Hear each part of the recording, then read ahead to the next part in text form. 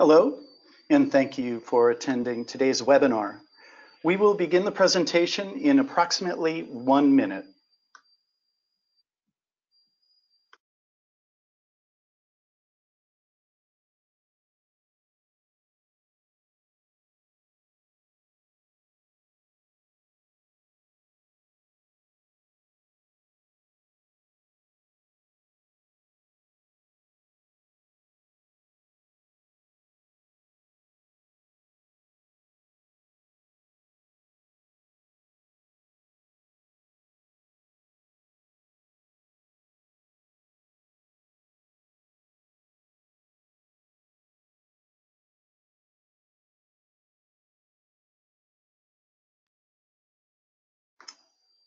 Hello, and welcome to How to Extract Actionable Insights with Machine Learning.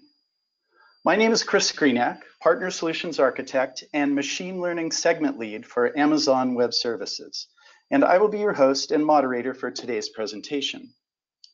When you joined today's webinar, you selected to join either by phone or your computer audio.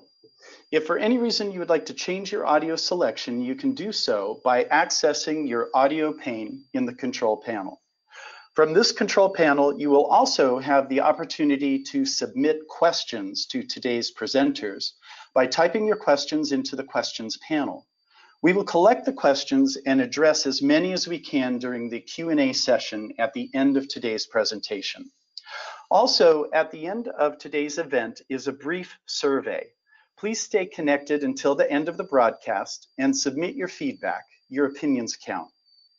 Lastly, the PowerPoint presentation will be available through SlideShare, along with a recording of the webinar on YouTube via an email that will be sent two to three days after the conclusion of this event. So keep your eye out and follow up uh, for the follow-up email uh, sent to the address you provided. Again, welcome to today's live seminar, How to Extract Actionable Insights with Machine Learning. My name is Chris Greenock, PSA and Machine Learning Segment Lead for Amazon Web Services. I will be your ho host and moderator for today's webinar. In addition to learning about AWS, we will also hear from Sachin Kulkarni, oops, one sec, there we go, uh, who is the practice area lead and Advanced Analytics at Slalom, Bishoy Grobial, sorry, Bishoy, CEO and founder of Veripad, and Jason Key, CTO and founder of Veripad. Today, you will learn about the machine learning tools at AWS and the AWS stack, how to use machine learning to analyze customer feedback in minutes, how to overcome, oops, uh, sorry about that, um, wrong, wrong slide. Uh, there we go. How to start using machine learning to do more in less time with greater accuracy. How cloud-based machine learning can add business value and reduce costs. And how to harness advanced analytics and ensure high quality data sets to deliver actionable results. Now remember, please post questions in the chat box throughout this presentation as we will review questions at the end of the presentation. Okay, so I'm going to start off with AWS Machine Learning Services. At Amazon, we've been making investments in machine learning for the past 20 years. If you've used our consumer website, you're certainly familiar with how fast and inexpensive uh, fulfillment and logistics is at AWS. You may not be familiar with these little guys though. These are called Kivas. When you place an order on Amazon uh, retail, uh, one of these guys goes out, uh, finds what you ordered in the warehouse, delivers it to a fulfillment personnel, and gets it to you quite speedily. So these automated uh, devices have advanced over the years, and uh, they've been in production and are used uh, every time you click on Amazon.com. Uh, not only that, but of course, we're famous for our recommendation systems and search and discovery on uh, the Amazon website. I'm sure you're familiar with recommended books uh, that have been with the website really since the, the very beginning. Um, and also things like uh, searchable uh, objects and, and items in our media, such as on the Kindle. If you drill down in a book on a character, uh, you can identify specific places in the, the book where the reference is found, drill down for other more intelligent uh, references. And in our video media, if you pause on Amazon Prime, uh, we'll actually use computer vision to identify all the characters in a particular scene. This is not metadata that was laid down by some person in a track. We're actually using uh, deep learning algorithms and tying into IMDb where you can drill in for further information. With all this investment too, we have generated a whole family of new products, famously the Alexa. Uh, here we see the Amazon Echo and uh, a number of other products uh, that have been developed uh, along the way. Famously though, now we are creating retail stores where there is literally no cashier. We're using uh, computer vision uh, at the Amazon Go store, which is currently in, in, Seattle, and there are many other stores now that are gonna be deployed in 2019. Uh, and the way this works is you scan your phone when you walk in the store so we know you're there and you just go and look for the item that you want, perhaps a sandwich or dessert, as you see here. And when you walk out of the store, there's no cashier. And it kind of feels like shoplifting until you get to the curb and your phone notifies you, you just bought a sandwich and you were charged $7. So these and many other advancements in machine learning uh, have been made with Amazon on Amazon and AWS technologies. We've opened up our APIs and our entire platform to tens of thousands of customers who are now running machine learning on AWS today. There are literally not enough pixels on the screen to represent all of the accounts, but these are some of our um, Lighthouse customers. So uh, the way we opened up our stack to uh, all users of AWS um, is described uh, here in this three-layered uh, tier. On the top layer, we have our application services. Here with vision, speech, and language, you can access some of the most advanced deep learning algorithms even if you have no expertise in data science whatsoever. Using Rekognition Image, you can identify objects, uh, do optical character recognition, uh, find personalities, even determine facial uh, sentiment uh, with both static images and video images by just calling the API the way you would call any API at uh, AWS. Uh, we also have Lex and Polly, the powerful speech and text-to-speech engines that are powering Alexa. We have Amazon Transcribe, which will extract text from both MP3s uh, and MP4 movies. We have translate services now with over a dozen translations available. And Amazon Comprehend, which is a neural topic modeler. And what that means basically is if you give it a corpus of text, it will identify names, key phrases, dates, organizations, and other valuable data that may be sitting in your um, in a corpus of text. So those are all our managed services on the top layer. On the second layer, we have our platform services. Uh, famously here, SageMaker. SageMaker is the premier end-to-end model development and model deployment platform. I'll say a little bit more about that in a moment. Deep Lens, which enables uh, developers to very quickly create custom computer vision models. And uh, last but not least, uh, we have here on the far right, Amazon Mechanical Turk. Uh, what we do there is we uh, open up uh, your, well, you can sign up for the service that will label your data. Um, so when you take a look at an image and you see a dog, a cat, a hot dog, etc., um, if you can label that data and run it into a machine learning algorithm, it dramatically accelerates both the capabilities and the clarity and accuracy of the models that you're trying to train. Now I'm using images as an example, but this can be insurance data, healthcare, life science, oil and gas, media and entertainment, virtually whatever vertical you're in. Now, this all rests on this extraordinary foundation of hardware technology, including our P3 instances, which have the NVIDIA Volta GPUs that power almost every framework, uh, certainly every popular framework for machine learning that's on the market. Uh, even though 88% of all instances of TensorFlow run on AWS, uh, we take a very non-prescriptive approach to how you may want to develop on AWS, offering the open source Apache MXNet, Cognitive Toolkit from Microsoft, Caffe, PyTorch, Keras, um, and others. So SageMaker, I mentioned I'd say a little bit more about uh, SageMaker. SageMaker is really the first end-to-end -end concept to scalable model uh, platform. It's really a fabric of four tightly knit components. First are our notebook instances, which are based on Jupyter and include more than 80 pre-built uh, cut and paste models that you can just cut and paste from uh, our sample notebooks and build your own. Then managed as a completely separate product are built-in algorithms. Um, I'll say more about that in a moment. Um, we also have a separate training service because these GPUs you know, are pretty pricey to run.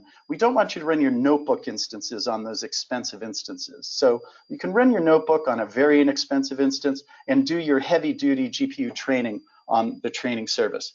Um, finally, we make it easy to deploy these models at scale with a hosting service. So what that looks like is uh, when you're building, you have a Jupyter Notebook um, and these high performance algorithms that are easily built in through an SDK. Uh, one click training where you can take your training job and train it on a separate machine, a cluster of machine, or even, you know, the, there's really almost no practical limit to how many machines you can cluster to accelerate the training of that model. We have automatic hyperparameter tuning, which optimizes your model. Finally, with one-click deployment, that could be either from the GUI, from a Python call, or even from uh, the AWS CLI, you can launch a fully managed uh, persistent endpoint. If you need to create a number of models and you don't need uh, a persistent endpoint, say you just need to call a model maybe for business intelligence once or twice a month or once or twice a week, we have a batch transform service, which essentially does the exact same thing as our fully managed endpoints, but it does it on demand. So uh, some of the companies that are using this include uh, Allied Van Lines. Uh, I like to use this example because, you know, who would think a, a moving service would have need for uh, cutting edge deep learning? But in fact, if you think about the problem of a moving service, there's a lot of logistics. Uh, you need to do forecasting, you have to schedule resources, perhaps buy uh, more capital equipment, um, plan your uh, personnel budget. So there's an enormous amount of operational efficiencies that uh, they use uh, currently to execute their business with optimal efficiency. And of course, we have many others in uh, a number of vertical markets, including finance, healthcare, real estate, etc. So it is a very broad and easy to use machine learning platform. If you haven't used these products yet, I hope to, uh, today is a uh, an invitation to do that. Uh, here at AWS, I'm very eager to uh, help our partners advance uh, their way uh, through the partner program. At the very pinnacle of the AWS partner program is the AWS machine learning competency. Now, there's a competency for um, a, a, couple of other uh, vertical uh, skills, including network, security, et cetera. And, but the way these partnership uh, competencies work is as our partners advance through the tiers, um, and they finally hit the advanced tier, we will do a hand-selected uh, choice of who the best, who the absolute lighthouse best of our categories uh, are. Um, to get into the competency, it requires uh, an application. Uh, you have to endure a well-architected uh, review where we go through the five pillars of well-architected design, including security, uh, including data governance, um, high reliability, uh, cost optimization, performance, and operational excellence. If you pass all that, we dig deep down into the, the narrow specialty that you do, which is machine learning in this case, where we'll go through your use cases, uh, make sure that they live up to the standard of the absolute pinnacle of the field. Um, if you pass all that, you get into the program. Uh, one of our first uh, partners that made this program is Slalom. Uh, so I'm uh, very happy now to introduce uh, Sachin Kulkarni, the practice area lead of advanced analytics at Slalom. Sachin, please take it away. Sure. Thanks. thanks, Chris. Um, so just going on to the uh, the next slide here. Um, so you know, just a little bit about about me and about Slalom. So so as Chris mentioned, um, you know, I run our um, advanced analytics practice out of the New York office, um, and you know, really uh, uh, my team is a big user and big proponent of of the AWS platform for for advanced analytics machine learning. So, um, you know, I'm going to talk to you a little bit about who Slalom is. Talk to you about a little bit about what we do and, and, give you just an example of a, of a case study that we've worked with in addition to the Veripad story, not to steal all their thunder, but um, kind of talk to you about a case study which we're going to be talking about at AWS reInvent um, in, later on this month. So, so our purpose really is to to help you realize, reach for and realize your vision. Um, we're we're a purpose-driven consulting firm. Um, you know, really what we look at is is what are you trying to achieve and how how can we help you get there. Uh, you know, if you've read a lot about us and, and kind of heard about us, we, we, we love what we do. We love helping our customers and clients and really big, big uh, into the culture that we have. Um, you know, in term, in terms of our services, um, you, you, know, I think we can break it down into, into three different areas. Um, the first one would be, would be strategy. The second one would be transformation. And the, the final one is technology and sort of all the all the other ones kind of play and and roll up to those. Um, so really, what we're what we're focused on is is not just the technology. So we you know very strong partners with AWS, which we'll get into later. But you know what is the strategy behind it? What is the operating model behind it? Um, you know how do we create a program around it so you can succeed with your advanced analytics, machine learning initiatives? Um, how do you create devices and experiences that delight your customers? Um, so analytics can be adopted across your organization. So, um, you know, from a from a services perspective, that's really what we what we look at. Um, in terms of geography and reach, I, I, I, like to joke around that this slide is constantly changing. Um, but you know, we're 5,000 plus consultants. Um, we operate in in two different ways. The first one is local market design. Um, we believe that consultants um, and clients thrive in uh, you know, by working side by side in the geographies that they're in. So I, am based in the New York area, um, and my team is based in New York. And you know, when Bishoy and I worked together on this project, um, you know, we worked hand in hand because we were close to each other. Um, so we have 25 local markets uh, globally.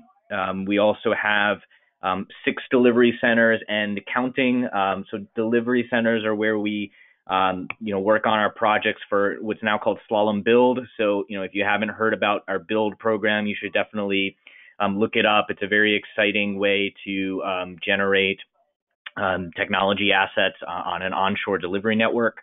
So that's a really big part of our strategy moving forward.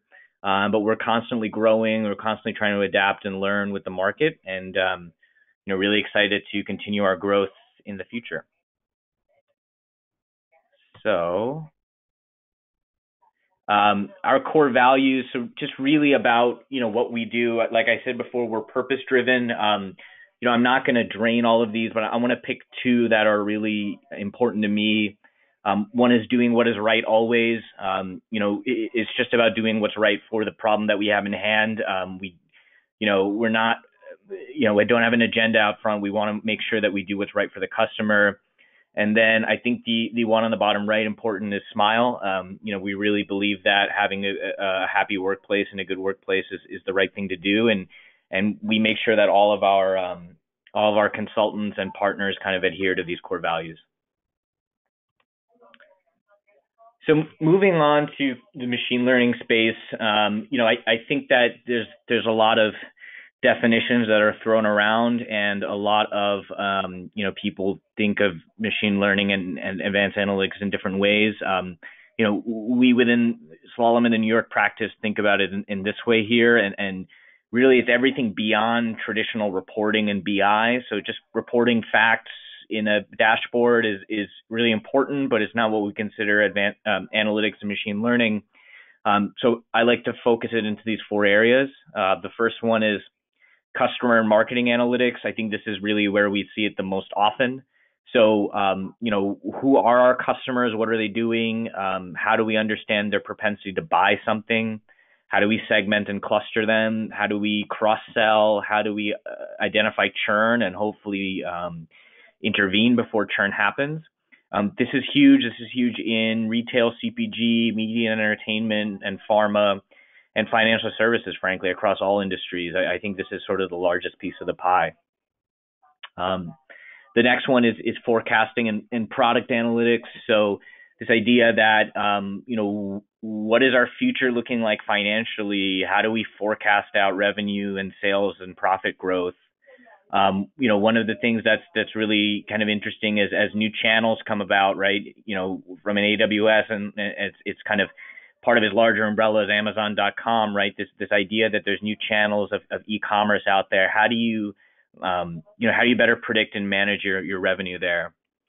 And then the the third one is digital uh, analytics. That kind of goes part and parcel with customer, but it's more on sort of the the, the website and device side. Um, it's no longer just retailers who are having um, you know e-commerce sites. Um, media and entertainment companies uh, are are really being in the device space. Um, so you know understanding um, how people convert, um, you know how campaigns uh, should be executed and measured is is is critical, right? So that's the third one, and the final one is the fourth one is sort of what we are, are touching on here with Veripad, but is is generally one of the smaller parts of the pie, but it's growing fast. Um, is is AI and deep learning. Um, so you know the the use of uh, image recognition, chatbots, natural language processing, and deep learning. So this idea that you know when you have an image of something uh, it, it's much harder to process that and, and go through that than it is text data or um, data in columns and rows.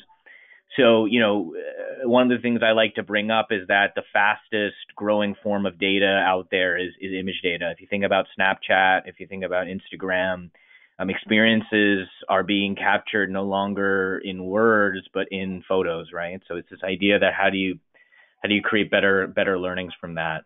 Um, and then finally, the, the, there's three sort of foundations that that we like to talk about. The first is from a technology perspective, and this is where AWS comes in. You know, machine learning and, and advanced analytics requires horsepower. Um, it's no longer applicable or you know useful to just have your machine or to use an on-premise data center. Um, the flexibility of the cloud, the flexibility of serverless allows for um, cost effectiveness, allows for data scientists to focus on what they do best, which is data science, as opposed to uh, managing infrastructure. So that's one. The second is is org design. Um, you know, uh, data science is a relatively new function. You know, where does it fit within your organization? Is it in a centralized area, decentralized? Um, do you work with partners? Do you hire internally? Um, you know, how do you keep data scientists motivated and how do you keep them going? Um, it's it's a really important thing.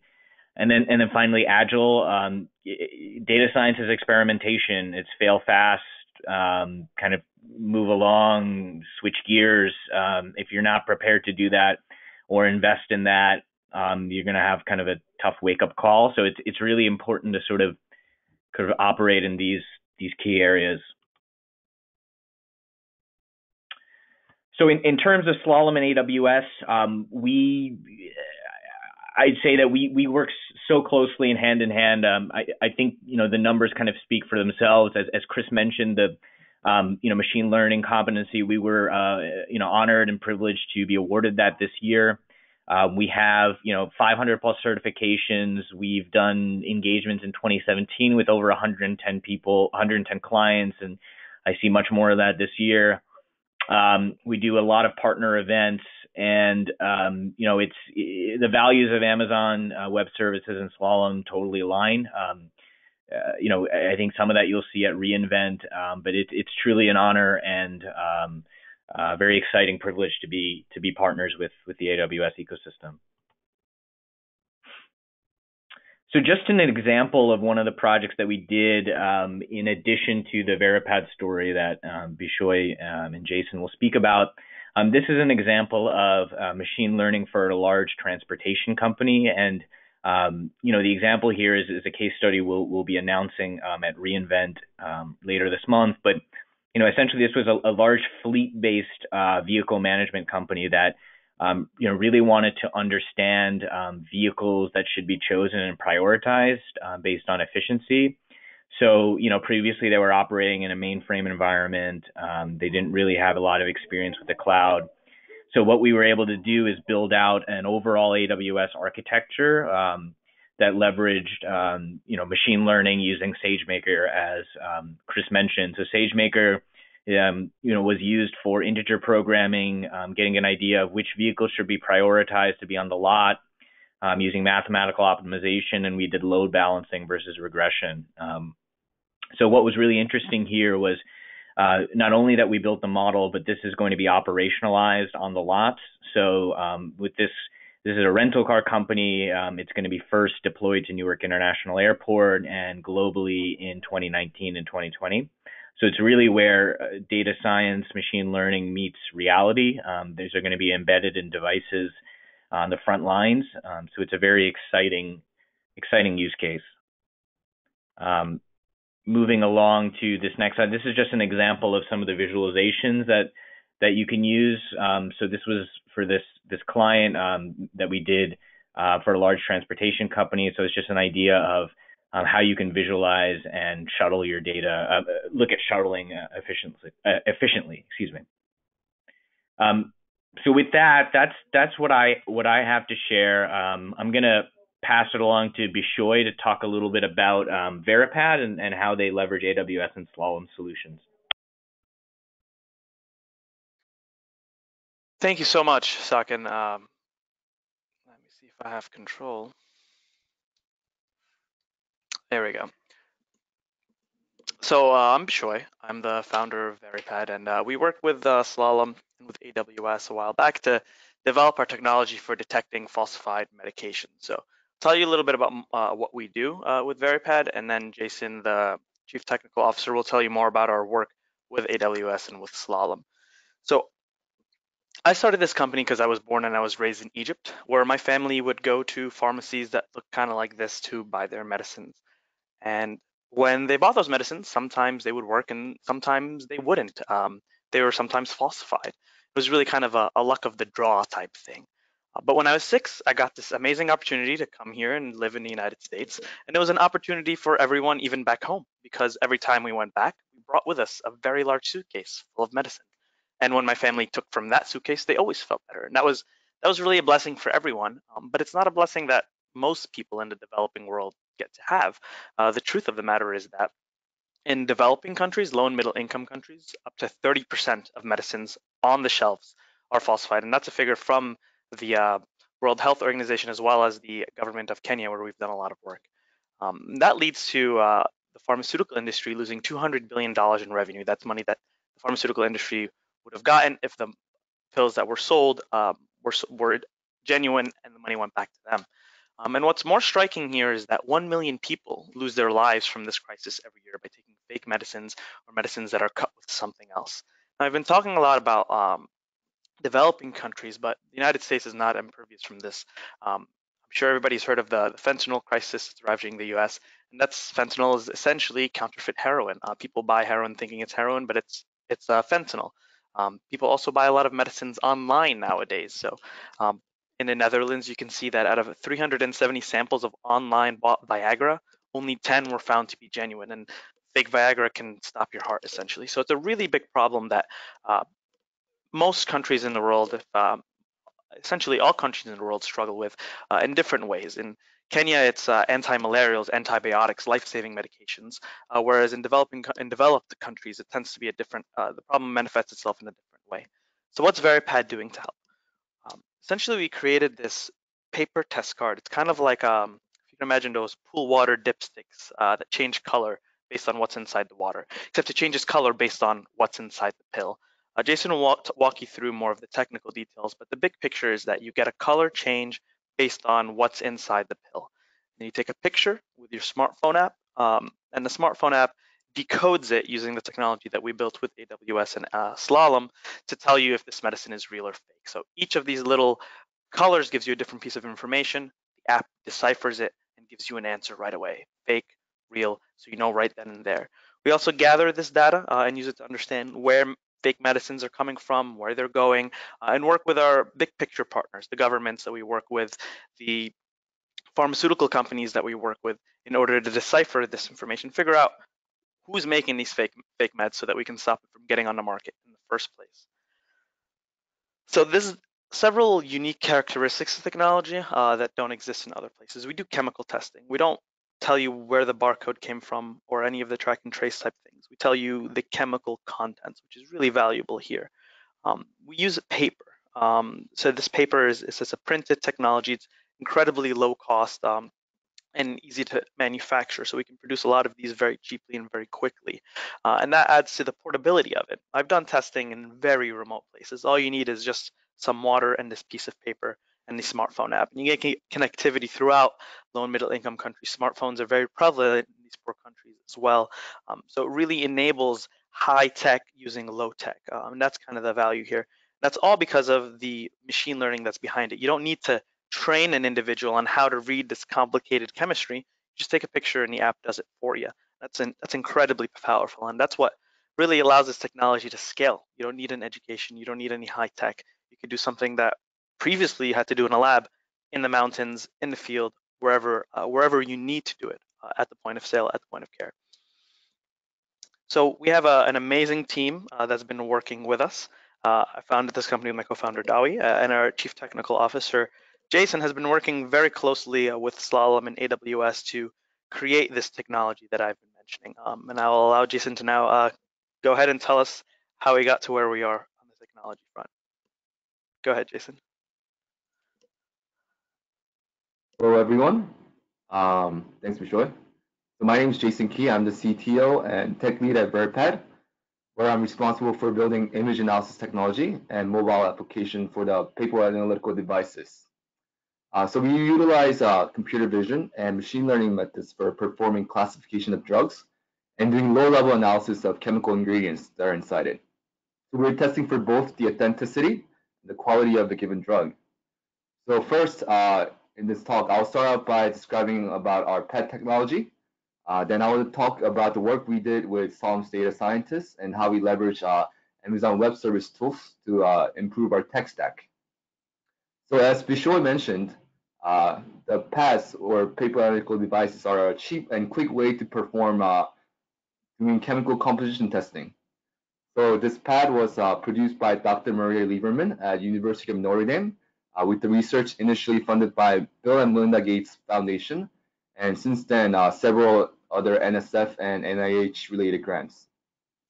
So the pads utilize uh, colorimetric for identifying chemical compounds in the drug, Colorimetric analysis is a method of determining the concentration of a chemical ingredient or chemical comp compound in a solution with the aid of a color reagent.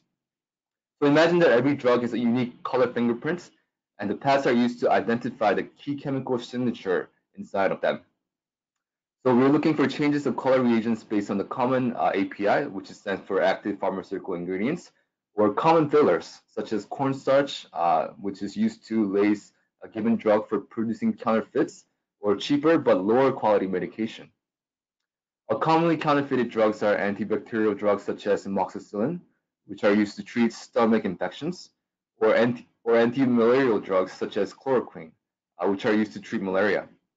So stomach infections or parasitic-related illnesses are easily treatable with the right medication, but yet they are still one of the leading causes of death uh, in developing nations due to the lack of access to quality medica medication.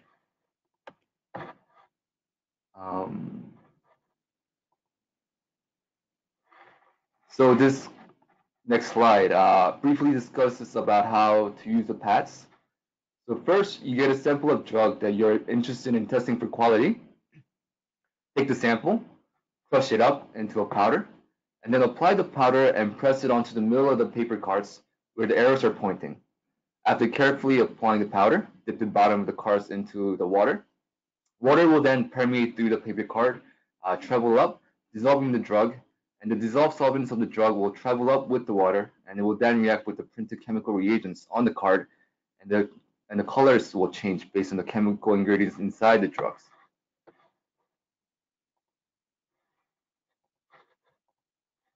So prior to our uh, tech development using machine learning, users would need to evaluate the results of, of each test cards by visually comparing the paths to uh, stored images of cards run with standard pharmaceutical samples previously.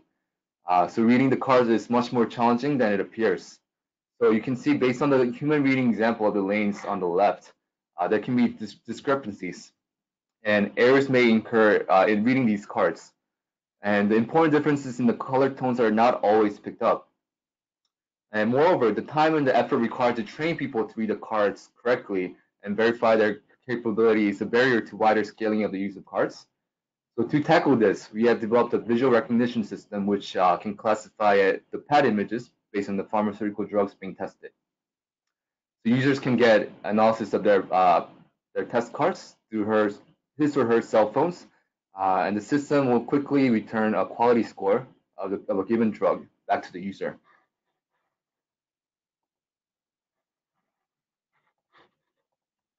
So this next slide describes the process of how the mobile app works. Um, so first, automatic detection and image acquisition of uh, the pad images are done by the mobile app, and it's rectified and gets sent back to the backend for image analysis and prediction. So today we want to go into describing how we improved on our image uh, analysis technology during our partnership work with um, Slalom and AWS. So the analysis of pad is a computer vision problem. The goal is to find and extract a set of important image features of the pad images for a given drug, and to be able to give a quality score of a given drug by identifying, identifying the color changes of active ingredients or the common fillers that are inside. So we describe the difficulties of analyzing the pads of human readers, as users are prone to just making errors due to numerous reasons. The visual recognition problem uh, becomes even more difficult when you consider that uh, these active pharmaceutical ingredients are all available in different strength, and a given drug is manufactured by uh, different companies, with each with discrepancies in ingredients in which they use. So the tech development of our company first uh, started by doing these sort of high-level analysis, where we give a prediction score for a given drug. So a data set of cars embedded with these reagents is produced to regenerate the most distinctive results for a set of uh, uh, 26 to 30 different uh, pharmaceutical uh, drugs. And then we train an image prediction model using the popular, the popular convolutional neural networks. And using this model, we were able to identify the label of a given drug with over 82% accuracy on 200 pad images of samples collected from pharmacies in Kenya. So this is a really good uh, metric uh, as these are real world samples uh, collected in the field uh, and not in a controlled lab setting. Um, so this is good, but we asked ourselves, can we do a better prediction? Uh, can we improve our analysis? And can we also do a low level analysis in which not only uh, can we learn the classification of these drugs, but also learn the chemical composition using machine learning? So this is uh, where our work with Slalom mainly came in.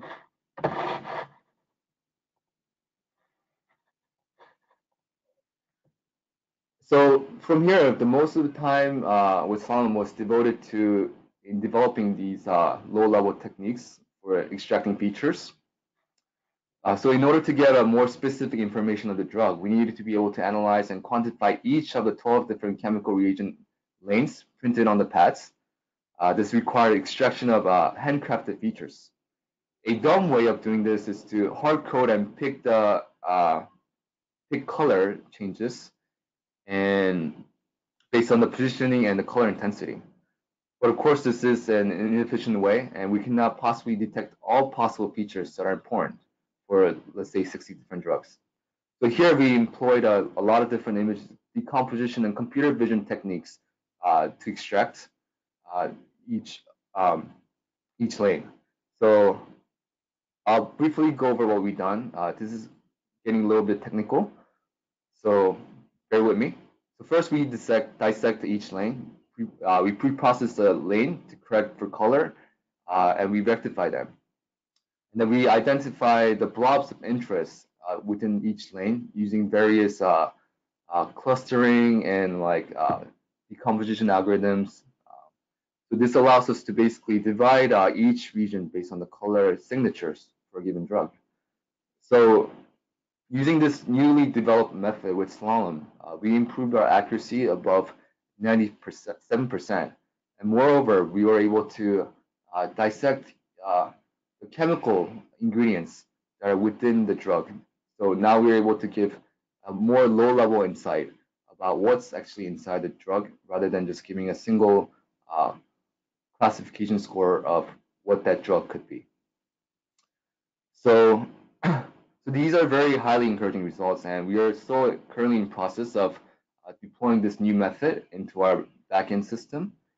Uh, so hopefully that will be uh, finished within the end of the year.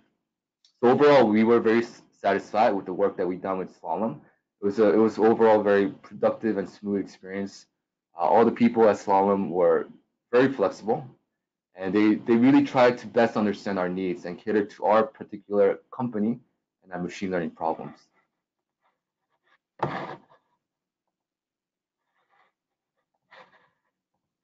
So lastly, I want to talk briefly about uh, how we were introduced to some of the uh, AWS services and how we since changed our tech stack and machine learning ecosystem. So Slalom co consultants emphasize the use of Amazon SageMaker for uh, writing, training, and deploying our models onto the SageMaker's uh, platform. And since then, we uh, are using from uh, end to end, uh, from writing to deploying the codes on SageMaker actually. Um, and moreover, we revamped our backend system for client and host system for mobile app by changing up our entire uh, backend stack. So now we use S3 for hosting all our image data, and we utilize uh, Amazon Lambda for interfacing between our mobile app and the backend and our machine learning model uh, using the SageMaker. And this has uh, significantly reduced our development time and increased our efficiency. Uh, and we no longer have to uh, worry about the minute details about uh, finding the proper GPUs, um, finding the proper cloud service system to use, where Amazon basically took care of all of this uh, into a simple web stack that you can access by just a Chrome browser. So, so with that, uh, wrap up of our tech. I'll send it back to Bishoy to summarize about uh, our company's trajectory, and he will discuss a bit more about the ongoing projects and our partnerships. Wrap up this segment. Thank you. Thank you so much, Jason. I believe I do have control. Yeah, uh, so we've uh, we've gotten tremendous value from our work with Slalom. Our app came in one way and came out another way, and that's that's really um, really big for us because uh, the app is really what changes the game, as I mentioned earlier. It makes uh, it makes it such that you don't need to train people because um, the app does the heavy lifting of decoding uh, all this chemical information into something that you can take actions from. Um, so what we're trying to do right now is, is take that app and, and retest it. So we had originally done pilots with the Kenyan government and um, organizations out uh, in the Philippines where we're testing fake medicines. We've been testing, we've been testing for fake medicines uh, throughout the world, and now we're excited to do the phase twos of several of those projects. So uh, the next, the immediate next steps will be um, to upgrade our manufacturing facility so we can get some of the hardware ready to go, uh, in the meantime, also updating the app so that we can launch our phase two pilots in the beginning of next year. Um, that's the that's the immediate next step, and that will be the first one will be with the the Kenyan government, the next phase of that, as well as with AmeriCares, which is an organization we're working out working with out of the Philippines. Uh, also, since uh, since we've worked with Slalom afterwards, we were able to secure another pilot uh, with uh, a multinational effort uh, in West Africa with Ghana and Nigeria. So that's where we're working right now. We're really excited to get that up and going, uh, to get that actionable insights, is to figure out where these fake medicines are coming from and, and to take them off of the streets. Um, we're also uh, really uh, excited to continue with, um, right now we've been focusing primarily in low and middle income countries because that's where we believe the majority of the work needs to be done uh, because people are dying from these fake medicines. Uh, but we also uh, know that there is um, an opportunity here in the United States and in developed countries, uh, as I mentioned, with fentanyl, which is ravaging the United States, as well as with online bought medicines as well. So we're working to develop the hardware and the software uh, such that we can tackle that problem as well. We are a startup, we are raising money, and we are also looking for uh, collaborations and, and uh, strategic partnerships. So um, this by no means are we the silver bullet to this problem. Uh, we work with other companies in this space uh, because fake medicines come in different ways and different um, present differently. So we like to work with governments. We like to work with pharmaceutical companies. We've been sponsored by Merck and worked with them um, for a couple of years now. Um, and we also want to work with any of you who are interested or in, uh, or players in this field. Uh, so in the health tech field, if you know anyone who is in this sphere uh, who can benefit from this technology, who has thoughts on this technology, we'd love to hear from you.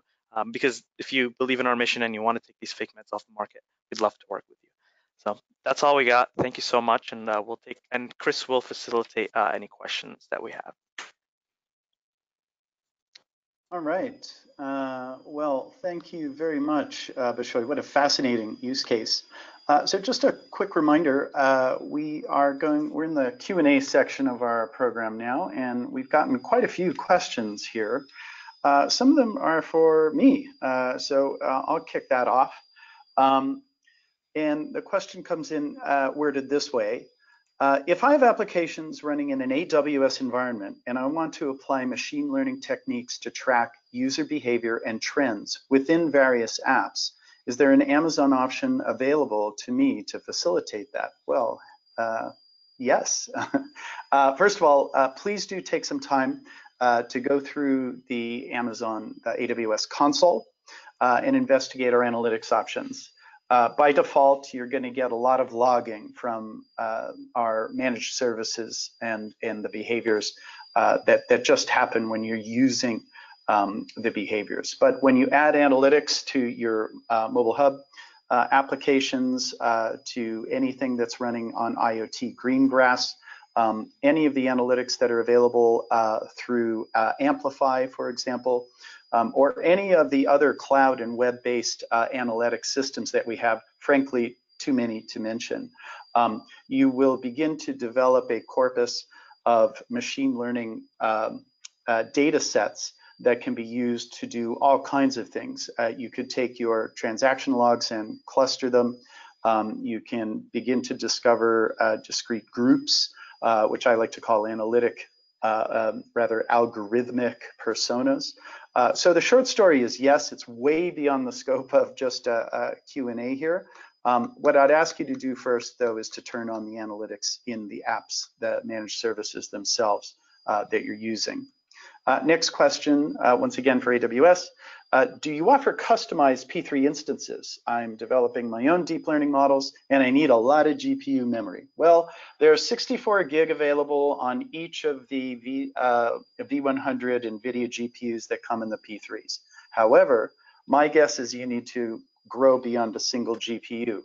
Uh, take a look at the way that uh, we have um, set up SageMaker to manage memory for you. You can easily grow not only out of a single GPU, but out of your machine itself. So there's eight GPUs in uh, our biggest P3 instance. So that's uh, eight times 64, but you can easily grow out of that machine into a cluster of machines when using SageMaker.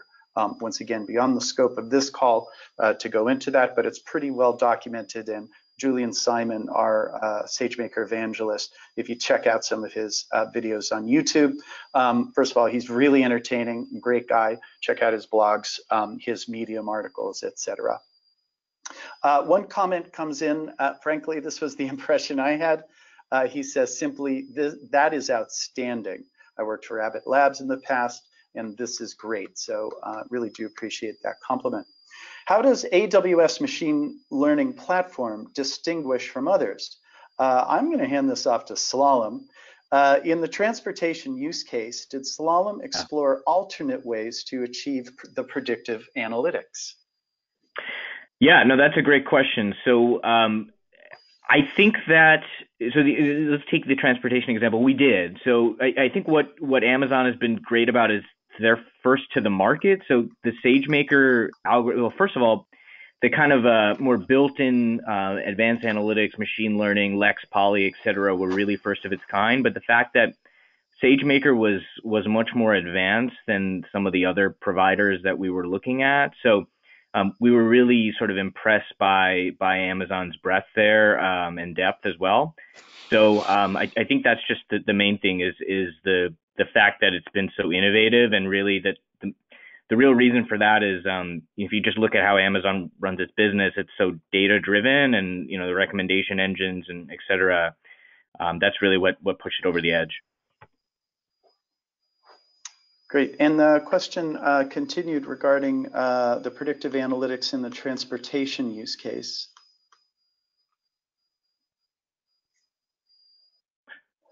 Sure. So sorry, sorry. What was the exact question? Uh, so it says, did Slalom explore alternate ways to achieve the predictive analytics?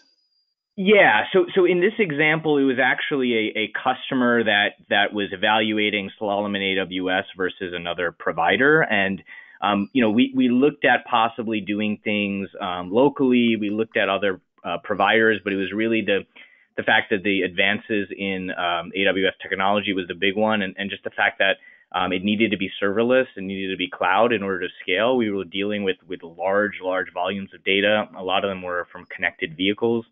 Um, it was real time or near real time, so that that was really the main reason. So we did look at others, but we we chose Amazon for this one.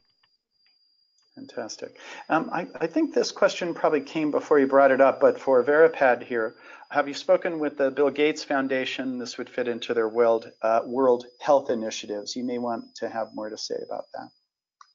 Yeah, thank you so much. Um, we have uh, worked with um, Bill and Melinda Gates. They funded the initial research, um, and we're continuing to apply to several of their grants as well.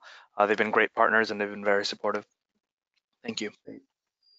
And uh, again, for Veripad, out of curiosity, uh, what type of paper is needed for uh, accurate readings? It's a great question. Uh, it's a cellulose-based paper. Um, it's not regular uh, like printer type paper. Uh, the interest, the important thing there is the pore diameter, uh, such that the water can travel up and mix the reagents properly. Um, some of these molecules tend to be quite large. Um, it's it's a special type of paper. And, and there's a follow-up question here. Would varying types of paper provide inaccurate readings? So because we manufacture the technology ourselves, uh, the hardware, we can control for that. Um, we do, uh, we have tried several types of papers. Uh, we settled on this one a while back uh, and have not kind of re, um, revisited that topic. Uh, it is, depending on the how the, the water spreads across paper, you can get different readings. But if you are trained, um, an individual who knows what they're looking for can uh, tell between those differences. We haven't trained the algorithm uh, on different papers because we want to eliminate that such that we can uh, reduce the noise in the you know in the analysis there. Uh, but you're right, different papers would provide slightly different results. And now um, back to Slalom. Uh, does Slalom work with small startups? Yeah, yeah. So we we work with companies of all sizes. I mean, Veripad. I, I hope they're not insulted by calling them a small startup, but they're they're a small startup, and we work with them. Um, we we absolutely do. So if you uh, you know are interested in working with us, um, feel free to to contact me uh, or Chris, and I'm happy to have a conversation. Okay. Uh, when considering anomaly detection, is there a trend towards custom-built internal solutions or implementation of packaged and cloud tools? Uh, Chris, do you want to take this or do you want me to take it? well, uh, you know, you're the star of the show, so please, uh, I, if I have a follow-up comment, I'm happy to make it, but, but please, uh, regarding okay. anomaly detection, yeah. Yeah, sure. So I, I think, you know, anomaly detection, is funny, it's, it's one of the most classic ways to do it is is um, what we call peer group analysis and and kind of deviation from the norm. So if you think about it, this may be a little long-winded, so I'm going to keep it kind of brief. So, um, you know, if you think about all the people that are in your building or office or class or whatever you have, you, if you use a clustering algorithm to break it down into individual groups and then you measure those people's performance over time, right? So a very classic example is if um, somebody's performing some sort of fraud, right? Whether it's sales fraud or mail fraud.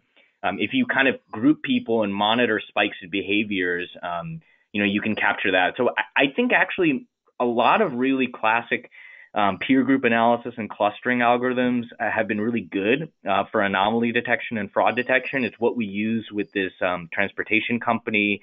Um, it's pretty good. I, I, think that you know, a few times you can you can build your own. I, I think though what I've seen and just something you want to caution is um, we have a lot of uh, I've seen a lot of examples where people sort of build things and um, it doesn't go according to plan because they really just want to use deep learning or they want to use some sort of technique that they've read about. So I, I would say as much as you can use sort of the the, the, methodologies that have really been best of breed. Um, they may not be the, the sexiest ones out there, but they've been successful over the years. So so that that would be my advice. Great. Uh, Sachin, I, I, think I'd just add one more thing to this. You, you, really need to work with some people that have previous expertise like Slalom. Uh, and, and, here's why. Um, package solution, well, here's, uh, let me step back from even what I was just about to say. Uh, explaining fraud or anomaly detection is simple. Uh, the problem is point solutions are unique to the problem at hand. Um, what I'm uh, starting to see is, people start off with clustering, but then based on their level of expertise, they'll create pipelines that maybe start with, you know, shallow learning, uh, and depending on whether they're doing, you know, some kind of uh, IoT-based anomaly detection in, in manufacturing, um, you know, they'll they'll resort then to autoencoders, which are a form of uh, deep learning technique. Um, in finance, uh, once again, you know, you, you, may use shallow learning just to get the original signal, and then you'll move into other techniques that might even be available through things like the Spark MLlib. Um, and the question is, how do you know about the breadth of those point solutions, except if you look at these problems, you know, uh, all day, every day by the dozens. Uh, so that's where having an, an, expert consultancy is is worth you know every single penny and, and, and just really worth it. Uh, okay, next up. Uh, let's see. Uh, oh, this is a follow-up to the small startups question. To elaborate, does small, uh, Slalom do blueprinting for small startups to spec out data architecture? Yeah, so we we do so you know we do a wide variety of of services um, from data science build is what what we did for Veripad to actually creating the overall architecture or the strategy behind it. So um, yeah, I mean we we kind of uh, encompass all of those areas. We also do data visualization. We're a strong uh, partner of Tableau and Qlik and Power BI. So um, you know we we we do all those kinds of uh, services as well. Okay, next up. Uh, a lot of Amazon questions today. Uh, is there an Amazon option for automatically testing correlations between multiple variables? For example, feed a data set and have it automatically test the statistical significance to return p-values greater than five. Um, so, uh, you know, check out the SageMaker built-in algorithms. Uh, just go straight to k-means clustering. Um, you can easily stand up any uh, in in TensorFlow, MXNet, PyTorch, et cetera. You can easily stand up um, uh, not just clustering algorithms, but also um, uh, you know SVMs or uh, any of the uh, techniques that do this kind of correlated analysis. Um, I will say this: uh, we make the tools that build race cars. You build the race cars, we make the tools. So when you're looking for point solutions, we have every tool you need, but you have to build it on the tools that we're providing. I hope that um, analogy makes sense. All right, uh, this looks like it's back to Veripad. Uh, for heroin fentanyl testing, who is the intended audience?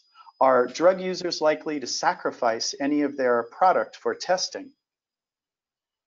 That is a great question. once again, uh, so we're uh, we're exploring different types of uh, partners here. We have discussed with policing agencies in the United States to test them. What they currently use is kind of a it's like a red for heroin, blue for fentanyl, uh, blue for not heroin type thing. Um, and we want to kind of give them a few more options uh, instead of just a yes or no. We have a, a, whole array of chemical testing on one paper. So we have discussed that with them and working to see if we can incorporate that into what they do testing on uh, in the field. Um, we would love it if um, users themselves would be would uh, want to use it, uh, but we don't we don't know that they do. Uh, you're right. Uh, giving up even a portion of that can be an issue. Uh, so we are exploring different things, but the best lead we have right now is policing agencies. So I believe we're coming up to our uh, last question here, just because we're top of the hour. Um, actually, let's try to squeeze in two. So the penultimate question uh, uh, for Slalom, what kind of budget does a startup need to implement a machine learning solution?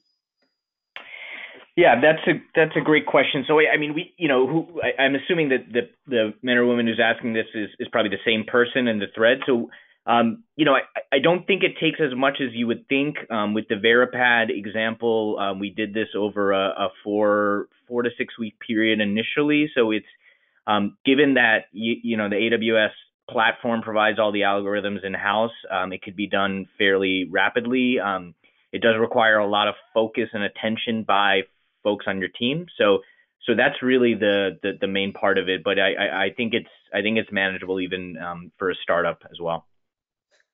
Great. And last, uh, looks like it's for AWS. Does SageMaker's uh, uh, I'm sorry, does SageMaker? Oh, I'm having trouble reading this one. Uh, sorry about that. Does SageMaker's algorithms uh, feature come with pre-built dictionaries like Python and R may offer? How does SageMaker differ? And can you provide an example of why SageMaker is represented as easy to use? okay, so the short story is uh, we have a separate product product manager for our built-in algorithms. And there's a, uh, it's pretty well documented um, both on uh, our webcasts um, in YouTube and, and online in our blogs. We do not seek to uh, replicate what's already available in Python, in uh, TensorFlow, um, or uh, even scikit-learn and things like that. Those tools are all already available. The built-in algorithms are all built on a philosophy that uh, with our uh, knowledge of the AWS infrastructure, we can provide more up to and more than 10 times the performance uh, for typical algorithms. So these are the algorithms that you need, like our linear learner, XGBoost, um, etc. So uh, explore the SageMaker examples. Um, and if you bring up SageMaker, it's free to just browse. Um, if you bring up SageMaker, um, or even check out the GitHub repo SageMaker examples, where all of the uh, uh, all the built-in algorithms and, and SageMaker um, uh, notebooks are available for just browsing. You can even do a pull request. You can see how we do um, essentially everything there. So I don't know what's easier to use than having a, a notebook where you just hit shift return and deploying the cloud, but that's pretty darn easy. So uh, thank you, gentlemen, uh, for a, a, compelling webinar. And thank you to all for attending today. Uh, please remember to stay connected and complete the brief survey at the conclusion of this webinar. We look forward to supporting you in current and future projects. Thank you again and have a great day.